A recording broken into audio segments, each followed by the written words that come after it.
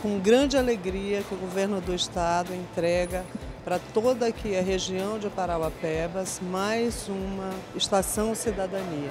Então aqui nós temos 11 órgãos parceiros integrando essa grande entrega de serviço aqui para toda a população. São cerca de 10 municípios que serão atendidos aqui pela Estação Cidadania do Shopping Carajás, no município de Parauapebas, onde nós temos uma população estimada de 900 mil pessoas que vão contar com o maior serviço integrado do governo do estado. Nós teremos aqui o lançamento hoje né, da biometria para emissão de RG, ou seja, mais tecnologia, mais modernidade a serviço aqui de toda a população aqui do sul e sudeste do Pará. Esse é o segundo Estação Cidadania na região.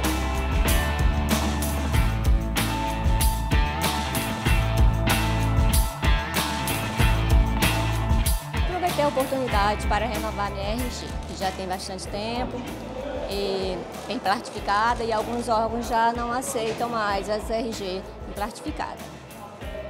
Fui bem atendida, ah, é o, o, processo de renovação de documento ele é burocrático. Às vezes a gente tem que agendar, tem que ir até Marabá, tem que ir até a Casa do Cidadão, e aqui eu estou fazendo imediato. Dentro das inovações, também trazendo para Parauapebas os novos serviços por estação, teremos guichês de atendimento para parcelamento, para licenciamentos, regularização, tudo em prol, tudo para facilitar o usuário, para que ele possa se regularizar e contribuir para a segurança do trânsito. Teremos também disponibilizados totens de atendimento para facilitar a vida do usuário.